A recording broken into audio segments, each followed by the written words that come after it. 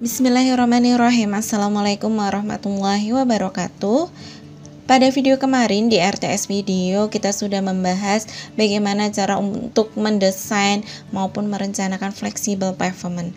Nah, pada video kali ini kita akan membahas apa saja sih faktor penyebab dari kerusakan pada jalan aspal atau flexible pavement itu. Nah, sebelumnya saya ingin menginformasikan kembali tujuan channel ini. Jadi, channel ini itu bertujuan untuk merangkum materi-materi teknik sipil dan juga konstruksi bangunan agar lebih mudah untuk dipahami. Jadi, tetap stay to RTS video ya.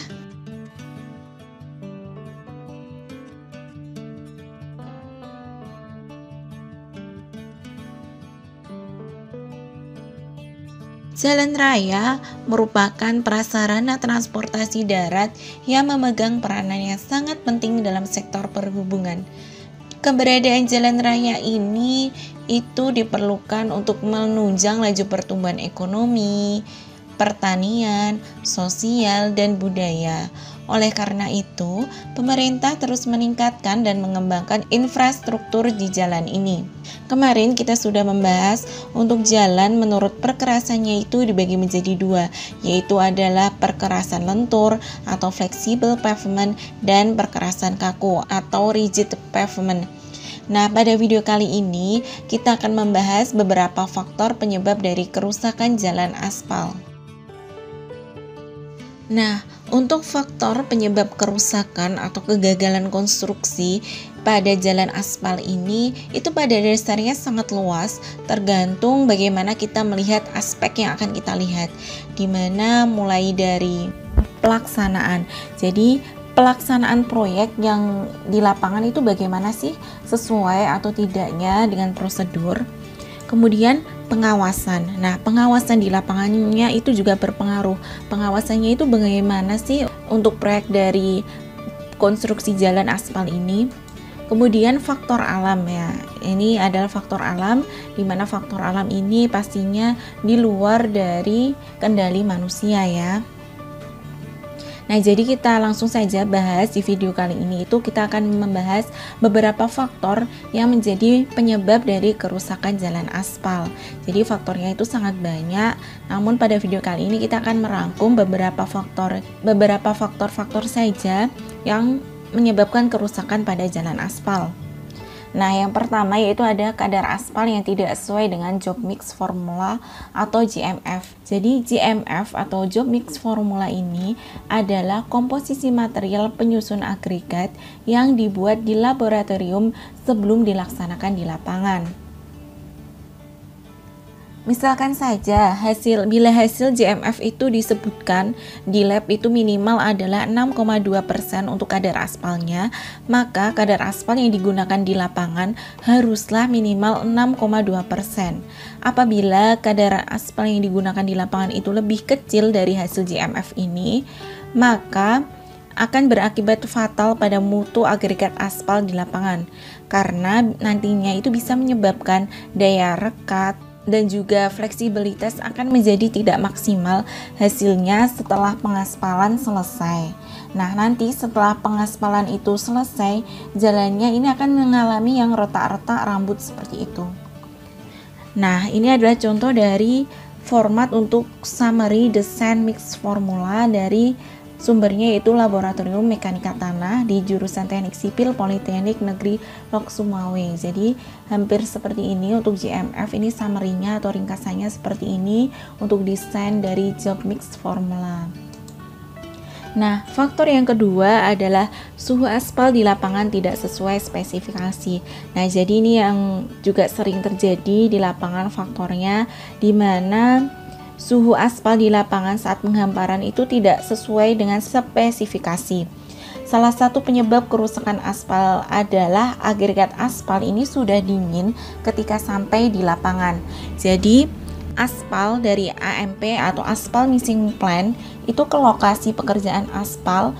Jadi, aspalnya itu sudah tidak sesuai dengan spesifikasi atau sudah dingin. Lalu berapa sih suhu penghamparan aspal yang benar itu? Nah, jadi untuk suhu aspal yang normal pada saat dituangkan ke aspal finisher itu biasanya sekitar di antara 135 sampai dengan 150 derajat Celcius. Itu ketika aspal pada saat akan dituang di aspal finisher. Nah, biasanya sebelum aspal itu dihamparkan, dia itu akan dicek terlebih dahulu oleh konsultan pengawas. Nah, dengan termometer seperti ini ya.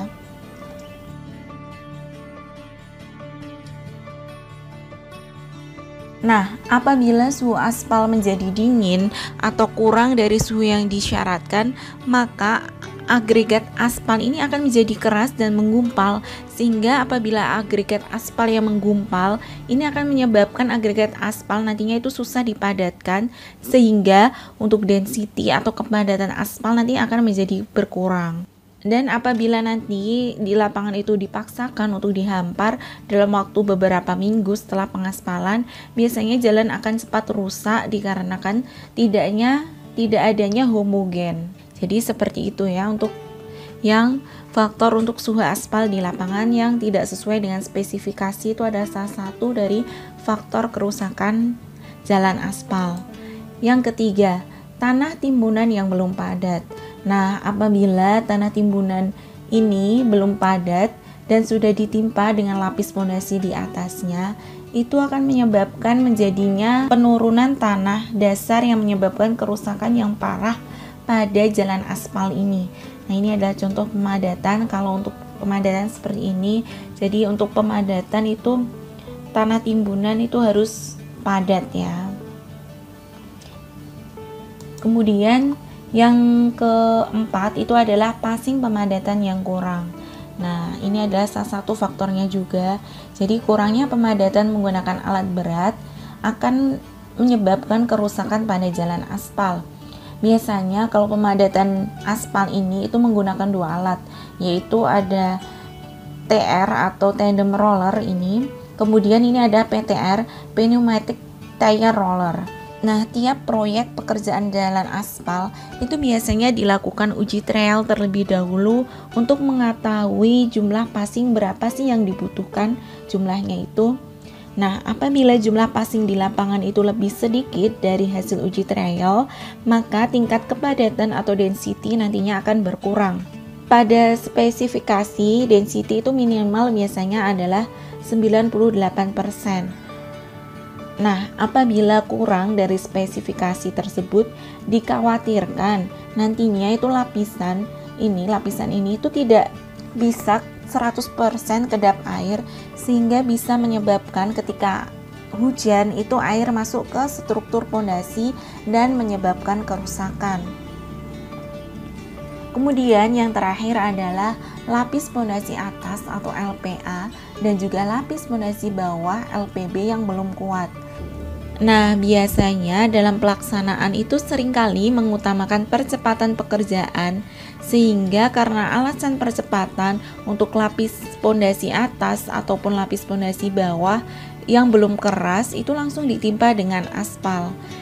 Nah, jadi kan ini lapis pondasi bawah dia berada di bawah dari lapis pondasi atas dan juga di atas dari tanah dasar. Sedangkan untuk lapis pondasi atas ini dia ada di atas lapis pondasi bawah. Nah, jadi biasanya untuk lapis pondasi atas maupun lapis pondasi yang belum keras ini langsung ditimpa aspal sehingga nantinya itu akan berakibat sangat fatal karena apabila pondasi jalannya saja rusak, struktur di atasnya pun akan ikut rusak pastinya ya. Nah, itulah beberapa dari faktor-faktor penyebab dari kerusakan jalan aspal pada biasanya. Nah, jadi itu adalah faktor-faktornya. Kemudian sekian dari RTS video. Mungkin itu ada sedikit rangkuman dari apa saja sih faktor-faktor penyebab dari kerusakan jalan aspal itu. Terima kasih dan Wassalamualaikum warahmatullahi wabarakatuh. Salam sipil.